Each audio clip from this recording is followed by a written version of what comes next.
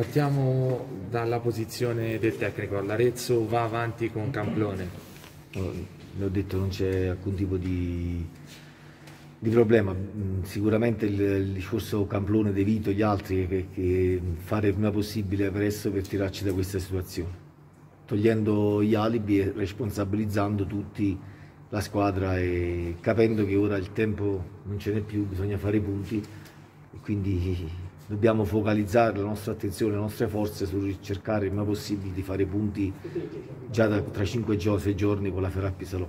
Prima ancora di analizzare la partita, eh, qual è la situazione degli infortunati? Avete parlato con detto, i medici? Sì, ad oggi abbiamo quattro infortunati, Cerci, Perez, Altobelli che eh, dobbiamo valutare bene, insomma purtroppo sono infortuni che hanno poi tra virgolette scombussolato anche hanno inciso poi anche sulla partita il secondo tempo, però ora valutiamo con calma, per questo stiamo aspettando gli esiti che non arriveranno prima di lunedì sera perché c'è bisogno almeno di 24 ore per gli esami ecografici.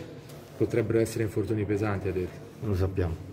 Sicuramente c'è qualcosa di serio e ora valuteremo proprio per quanto riguarda invece la partita, un Arezzo che è sembrato però anche al di là della sfortuna, però in alcuni casi essere un po' troppo arrendevole contro questo Cesena, che comunque è una squadra di valore.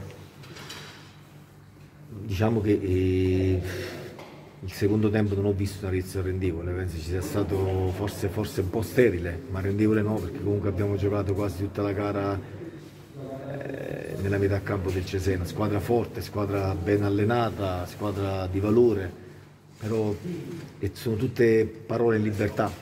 Eh, segna, diciamo, si può parlare del rigore, c'era un rigore, mi hanno detto, non dato, su questo poi bisogna valutare, insomma ci sono delle situazioni da valutare, ma oggi noi non cerchiamo alibi, per quanto concerne la posizione della proprietà non gli possiamo dire nulla, se non eh, rispetto nei confronti di chi sta investendo da quando è arrivato e sta avendo poco, quindi per questo sono qui a metterci la faccia perché voglio che i calciatori da oggi pensino solo a a lavorare per fare punti e per eh, toglierci dalla sotto, insieme a noi naturalmente.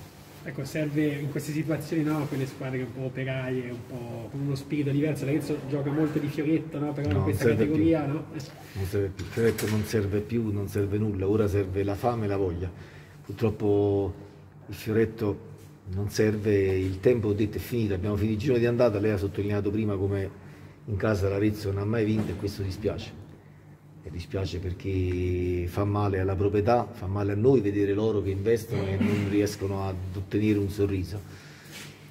Ma non c'è tempo, diciamo, nonostante sia arrivato da poco, avere tanti alibi, tante, non c'è tempo da parte mia, da parte dei ragazzi, dobbiamo solo lavorare e capire che non abbiamo più tempo. Ecco, senza questi infortuni il mercato di entrata era da considerarsi chiuso.